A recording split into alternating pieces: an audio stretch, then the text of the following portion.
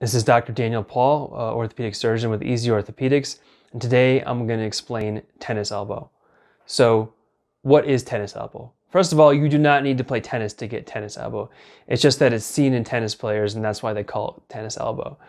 So, what tennis elbow is, is you have all these muscles in your forearm that help extend your wrist and your fingers, and they all attach to the outside of your elbow.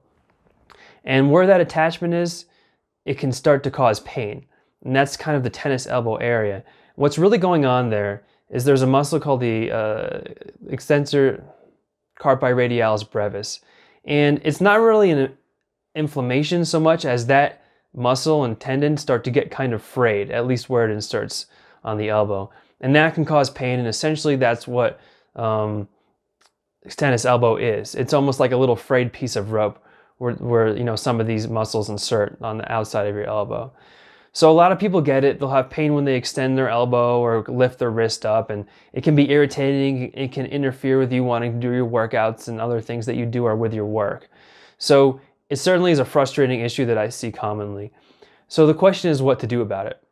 Well, that depends on how much it bothers you. This is not something that causes arthritis or any real long-term disability. It just can be very bothersome, you know, for a little while. Um, the first thing to do is there's a good stretches and exercises you can do um, to help relieve your relieve your pain. They're called eccentric elbow exercises, and that kind of helps you know that area get better. Um, some people try bracing. It's a little brace which wraps around like this called a counterforce brace. Some people swear by it, some don't. I have some patients who, who use it and some don't. So you can try that out and see if that helps you. Um, you know, also icing, um, anti-inflammatories, questionably. Uh, and also, if those don't help, what you can also do is get a steroid injection into that area. Now, this steroid injection is a little bit different than most. With most steroid injections, you kind of inject in and then that's it. With this, what you're doing is you're taking the needle and you're tapping the bone a lot. You're trying to get this frayed, uh, you know, tendon area to heal. And um, it takes a little while. When I do mine, it's like about, I don't know, around a minute of me just poking um, this tendon. So that can certainly help. And that's usually what I would do after someone has failed, you know, exercises and other sorts of treatment.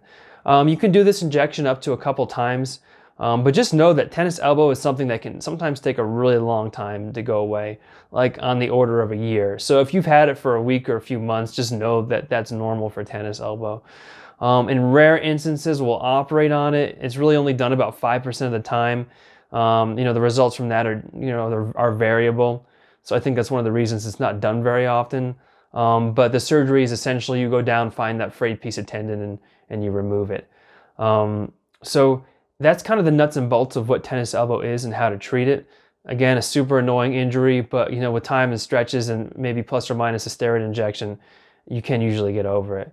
Um, I hope you found this video informative. If you have any questions, feel free to leave them in the comments below and I'll do my best to respond. Um, if you like this video, we put out new content every Friday, so please like and subscribe. And thanks for watching.